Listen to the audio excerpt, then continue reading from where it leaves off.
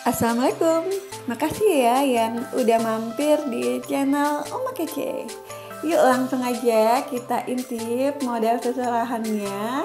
Semoga video ini bisa bermanfaat dan menginspirasi sobat Uma yang bingung nih mau bikin seserahan kayak gimana. Nah kalau menurut Uma daripada ribet-ribet kita ngias sendiri Kita serahin aja semuanya ke rumah April jadi sobat Uma yang berada di sekitar Payakumbuh bisa langsung aja ke rumah April. Jadi di sini tuh desainnya bagus-bagus, unik-unik. Jadi sobat Uma bisa lihat. Nah, ini model seserahan yang terbaru. Nah, buat sobat Uma